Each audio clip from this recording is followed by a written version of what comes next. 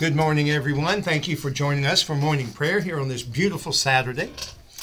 A reading from Isaiah. Thus says the high and lofty one who inhabits eternity, whose name is holy.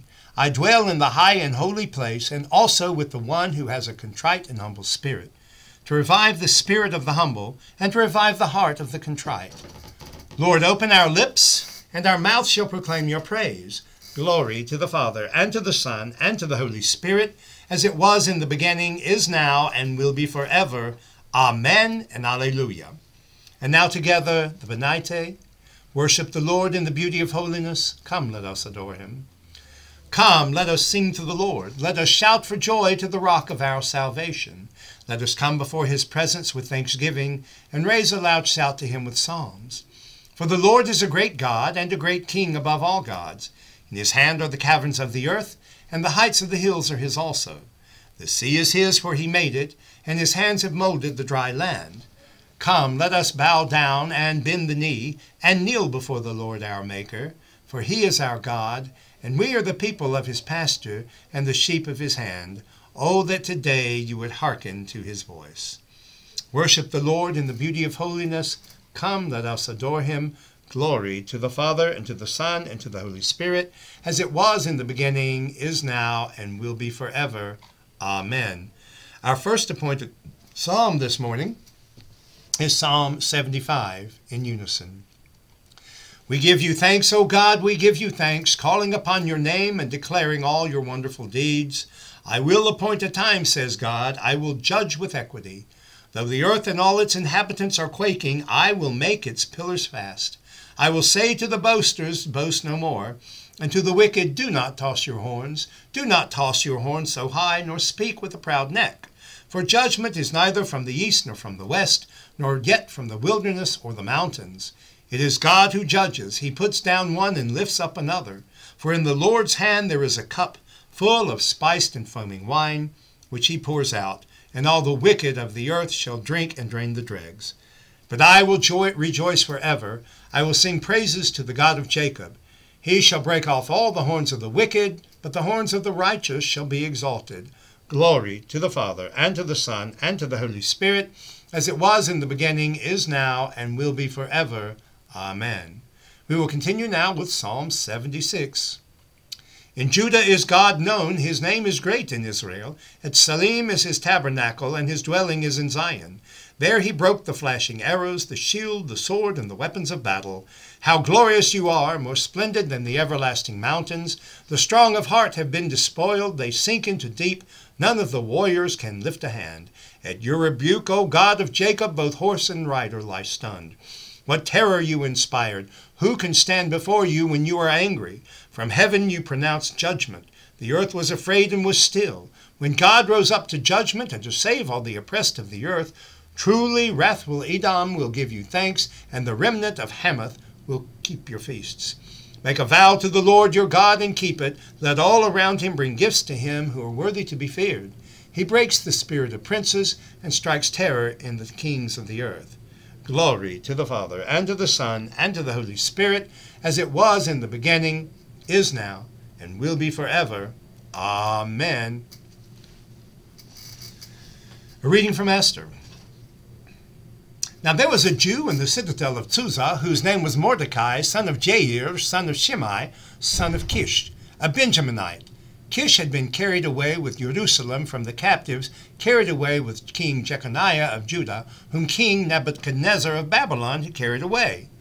Mordecai had brought up Hadassah, that is, Esther, his cousin, for she had neither father nor mother, the girl was fair and beautiful, and when her father and her mother died, Mordecai adopted her as his own daughter.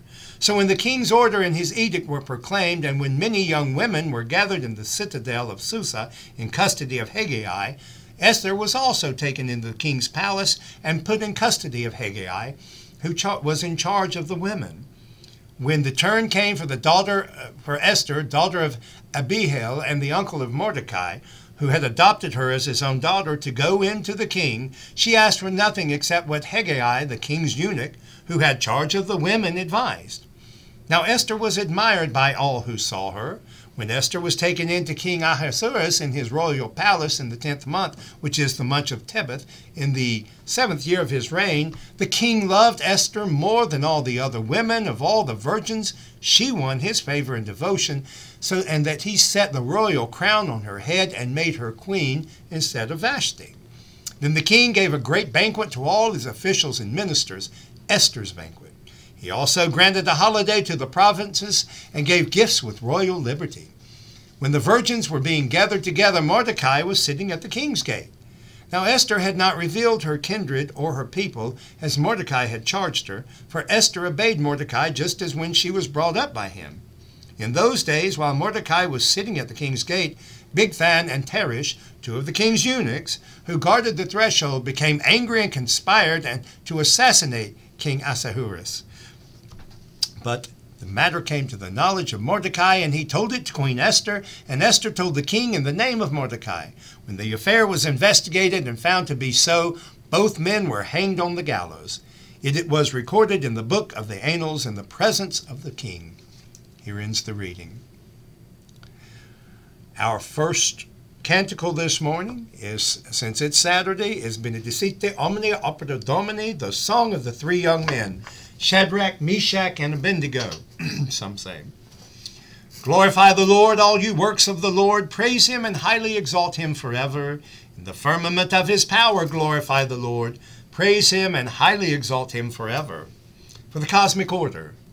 Glorify the Lord, you angels and all powers of the Lord, O heavens and all waters above the heavens, sun and moon and stars of the sky, glorify the Lord. Praise him and highly exalt him forever. Glorify the Lord, every shower of rain and fall of dew, all winds and fire and heat. Summer and winter glorify the Lord. Praise him and highly exalt him forever. Glorify the Lord, O chill and cold drops of dew and flakes of snow. Frost and cold, ice and sleet glorify the Lord. Praise him and highly exalt him forever. Glorify the Lord, O nights and days, O shining light and enfolding dark. Storm clouds and thunderbolts glorify the Lord. Praise him and highly exalt him forever. For the earth and its creatures. Let the earth glorify the Lord. Praise him and highly exalt him forever. Glorify the Lord, O mountains and hills and all that grows upon the earth. Praise him and highly exalt him forever. Glorify the Lord, O springs of water, seas and streams, O whales and all that moves in the waters. All birds of the air glorify the Lord. Praise him and highly exalt him forever. Glorify the Lord, O beasts of the wild, and all you flocks and herds. O men and women everywhere, glorify the Lord. Praise him and highly exalt him forever.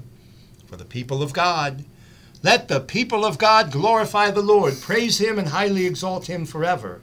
Glorify the Lord, O priests and servants of the Lord. Praise him and highly exalt him forever. Glorify the Lord, O spirits and souls of the righteous. Praise him and highly exalt him forever. You that are holy and humble of heart, glorify the Lord, praise him, and highly exalt him forever. Let us glorify the Lord, Father, Son, and Holy Spirit, praise him, and highly exalt him forever. In the firmament of his power, glorify the Lord, praise him, and highly exalt him forever. A reading from the Acts of the Apostles. While Paul was waiting for them in Athens, he was deeply distressed to see that the city was full of idols. So he argued in the synagogue with the Jews and with the devout persons, and also in the marketplace every day with those who happened to be there.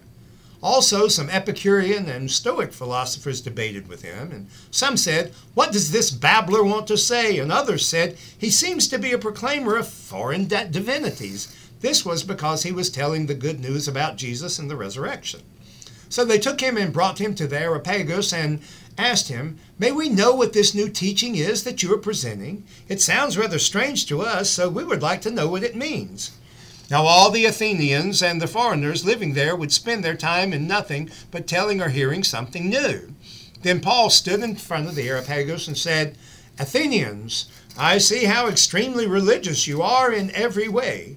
For as I went through the city and looked carefully at the objects of your worship, I found among them an altar with the inscription, To an unknown God.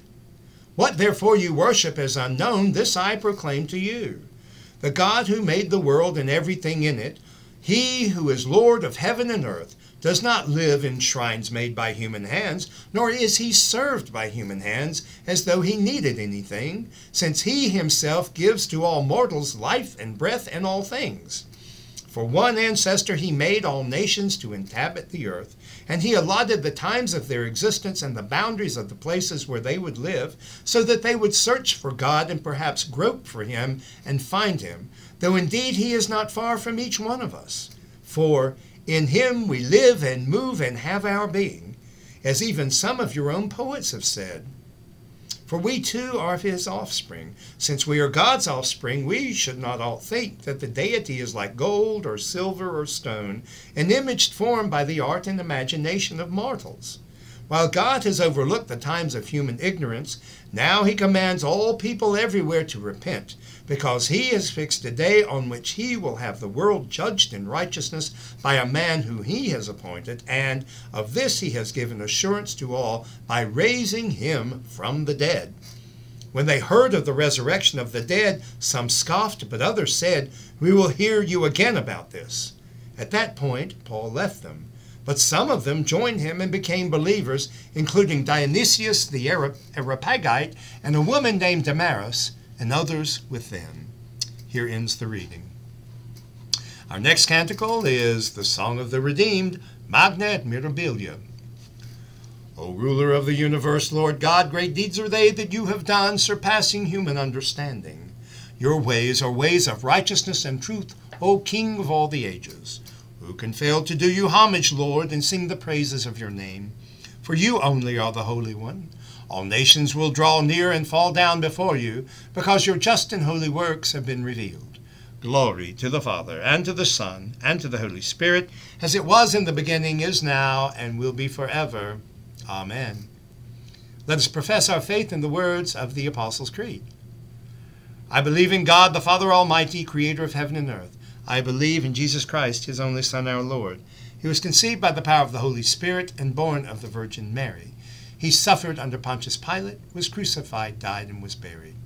He descended to the dead. On the third day he rose again. He ascended into heaven and is seated at the right hand of the Father. He will come again to judge the living and the dead. I believe in the Holy Spirit, the Holy Catholic Church, the communion of saints, the forgiveness of sins, the resurrection of the body, the life everlasting. Amen. The Lord be with you. Brothers and sisters, let us now pray the Lord's Prayer. Our Father, who art in heaven, hallowed be thy name. Thy kingdom come, thy will be done, on earth as it is in heaven. Give us this day our daily bread, and forgive us our trespasses, as we forgive those who trespass against us. Lead us not into temptation, but deliver us from evil. For thine is the kingdom, and the power, and the glory, for ever and ever. Amen. Suffrages A. Show us your mercy, O Lord, and grant us your salvation. Clothe your ministers with righteousness. Let your people sing with joy. Give peace, O Lord, in all the world, for only in you can we live in safety. Lord, keep this nation under your care, and guide us in the way of justice and truth. Your let your way be known upon earth, your saving health among all nations. Let not the needy, O Lord, be forgotten, nor the hope of the poor be taken away. Create in us clean hearts, O God, and sustain us with your Holy Spirit. O God, because without you we are not able to please you, mercifully grant that your Holy Spirit may in all things direct and rule our hearts, through Jesus Christ our Lord, who lives and reigns with you in the Holy Spirit, one God, now and forever. Amen. The collect for Saturdays. Almighty God, who after the creation of the world rested from all your works and sanctified a day of rest for all your creatures. Grant that we, putting away all earthly anxieties, may be duly prepared for the service of your sanctuary, and that our rest here upon earth may be a preparation for the eternal rest promised to your people in heaven through Jesus Christ our Lord. Amen. And now a prayer for mission. Almighty and everlasting God, by whose Spirit the whole body of your faithful people is governed and sanctified, receive our supplications and prayers which we offer before you for all members of your holy church, excuse me, that in their vocation and ministry they may truly and devoutly serve you through our Lord and Savior, Jesus Christ. Amen. Let us now bring our own needs and intentions before the Lord and ask for His indulgence, His mercy, and in many cases, His forgiveness.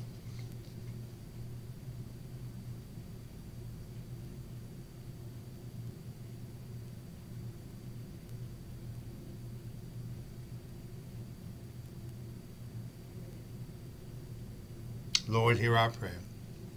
Now the general thanksgiving. Almighty God, Father of all mercies, we, your unworthy servants, give you humble thanks for all your goodness and loving kindness to us and to all whom you have made. We bless you for our creation, preservation, and all the blessings of this life, but above all for your immeasurable love and the redemption of the world by our Lord Jesus Christ, for the means of grace and for the hope of glory. And we pray Give us such an awareness of your mercies that with truly thankful hearts we may show forth your praise, not only with our lips, but in our lives, by giving up ourselves to your service, and by walking before you in holiness and righteousness all our days, through Jesus Christ our Lord, to whom with you and the Holy Spirit the honor and glory throughout all ages. Amen. Let us bless the Lord. Thanks be to God. The grace of our Lord Jesus Christ and the love of God and the fellowship of the Holy Spirit be with us all evermore. Amen. Have a wonderful day. Enjoy your weekend. God bless you. Join us uh, tomorrow uh, at 9.30 at Christ Episcopal Church or at 11 o'clock at uh, Calvary Episcopal Church on our Facebook and or our YouTube channels. God bless you. Thank you. Remember to leave the world a better place this evening than you found it this morning.